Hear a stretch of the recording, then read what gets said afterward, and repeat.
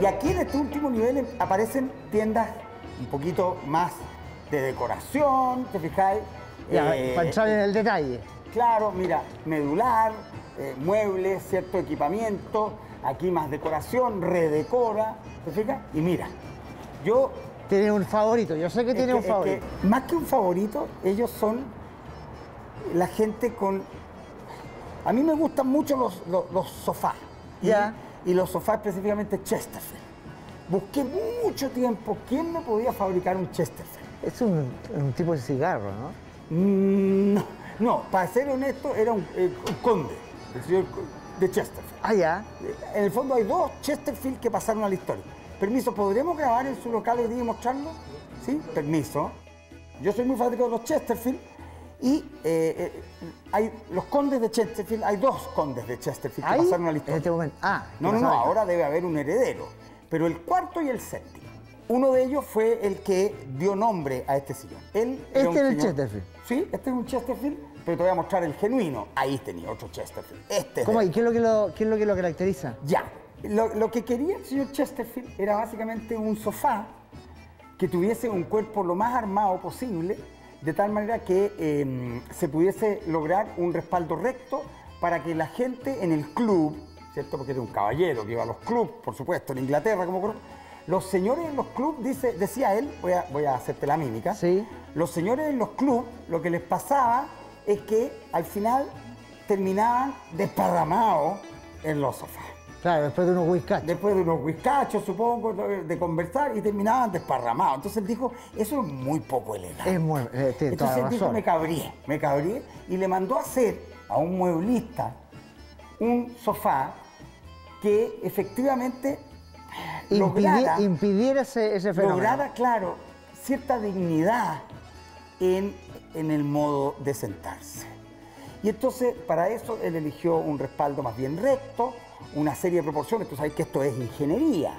Eh, depende del largo del asiento, el alto, ¿cierto? Del asiento. Todo eso influye en cómo yo Pero hay gente muy distinta de porte, hay altos, bajos, ¿cómo Pero lo para que tú veas, la altura glúteo-popitlia no varía Es demasiado. bastante parecida, ya. Exactamente. O sea, es impresionante. Y eso terminó haciendo que naciera el Chesterfield. Un sofá que es muy cómodo, pero que te permite sentarte recto y mantener la Y espalda no tener, erguida, y no tener, claro, la tendencia a irte. y no tener... Para, ah, y- y no- y no- y no te- porque mira, este sofá así es muy incómodo. Claro. Entonces uno tiende a mantenerse sentado, derecho, y mantener de alguna manera la prestancia y la dignidad de un caballero. Oye, y esto no sé cómo se llama eso que tiene como botones. Capitoné. ¿Eso es también propio del Chesterfield? o- Absolutamente. El Chesterfield, básicamente, aquí estáis viendo un Chesterfield Genuino. de pura cepa. Ya, ¿te ya. Y- Con el capitoné. y- en pero el eso también lo inventaron, eso también se inventó para el Chesterfield. Sí, claro. O sea, no, no, el capitoné es una técnica, digamos. Pero, porque si tú te fijas, ahí hay un Chesterfield que tiene cojines. Em, claro. ¿Te fijas? Tiene solo. Este, por eso que, este es el que me gusta a mí. Y entonces, la anécdota, por eso que tú decís que son mis favoritos. No, no son mis. Sí, está bien, puede ser. Pero la- lo que me pasó fue que yo hace muchos años atrás, vuelto loco, quería mandarme a hacer un Chesterfield. Busqué, busqué, busqué, hasta que encontré un señor que los hacía. El tiempo fueron cambiando las cosas y ese señor que tenía un taller, ahora tiene esta tienda. Pero él es el que fabrica estos Chesterfield. Ah, ya, o sea, Esto estos son Sigue producciones. siendo así, ¿no? Sigo. ¿El nombre de él usted me lo puede? Juan Gómez. Ya, o sea, esta es producción local. Y si, viene, y si- y si 100%. viene el heredero de Chesterfield, va a decir, está perfectamente bien hecho. Por supuesto. Y este local, entonces, el cuero es el protagonista, tanto en eh, Chesterfield como en otro tipo Como de... en otro tipo. Tú ves esas butaquitas ahí preciosas, ¿cierto? ¿Ah? De madera combinadas, muy livianas, muy transparentes. Que yo siempre digo, lo bonito de, de- de- de hoy día en el mundo de la decoración, para hablar de este- del, del decoro, de la dignificación de, ese, de esa casa que de alguna manera te representa, es que hay muchas variedades. Entonces, hay cuerpos sólidos, ¿cierto? Podríamos decir visualmente muy pesados como este, pero luego hay efectivamente alternativas muy transparentes, livianas, fluidas como esto. Y esta combinación, comparini, a mí me encanta, la de un sofá tradicional, ¿cierto? De volumen lleno y otra que es muy moderno. en el muy mismo liviano, conjunto, ya. Muy transparente. Buenísimo. ¿Qué te parece? Sí, yo, mira, yo siempre eh, desde chico me estaba preocupado por el tema del cuero, el buen cuero. No. Y Farini, mira, aquí dos cosas. Estamos en el menos uno. ya, es o Los sea, en, el, subterráneos. en el estacionamiento. Estacionamiento. Ya, dos cosas que te quería mostrar. La primera es mostrarte que a mí me vuelve loco este diseño en el suelo del estacionamiento. Mira, por favor. O sea, es.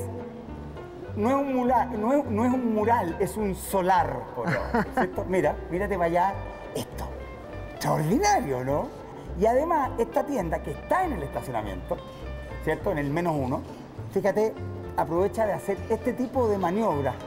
Por ejemplo, expone estos exteriores, entre comillas, porque da la expresión de estar en el exterior, Sí, sí, sí. con terraza. Pero vamos para adentro porque esta es una tienda súper Y esto es entretenida. una tienda de productos. Este es, este ya es, te fijáis que fuimos ah, de- desde, desde los, desde los materiales de construcción y aquí ya llegamos ya al sumum de la decoración. de Decoración misma. ¿Te fijas que tiene algo como de, los de los galpones eh, del Persa? Eh, tiene razón, tiene Como de los galpones de ahí de Brasil. Con, eh. Y entonces hay mucho mueble, muy distinto. Y la idea es una suerte como de bazar. Oye, pero lo que más me gusta es que desafían la gravedad, pues las plantas las ponen al revés. Mira, yo te tengo que confesar que si yo, alguien a mí me hubiese dicho, voy a, tengo una idea, voy a poner unas plantas en el techo y le habría dicho, estáis locos. Pero la primera vez que lo vi, lo vi en un bar en España, en Madrid, que se llama Amazónico. Y después entendí que esto tenía, después vi eh, en Italia un restaurante que tenía una enredadera con unos limones arriba. Bueno, todo eso hoy día ya está en Chile. ¿Eh? ¿Ah? Entonces, extraordinario. Ahora, lo interesante de esto es la diversidad, en el momento histórico en el que estamos, es la diversidad. Todo es posible, es verdad, todo es posible. Como ya estamos en un momento neo-romántico, ultra barroco, tecno moderno, para decirlo así, de, todo mezclado, entonces se van juntando. Mira, esto que es un- como un vestigio de una rueda de carreta. Pero tú dices que en el mismo, en, en la misma casa uno puede combinar muchas cosas sin problema. Por supuesto, po. Eso, eso es lo entretenido. Me pasa que las casas para mí son hoy, más que nunca, museos de la vida de cada persona. Ya, perfecto. ¿Te fijáis?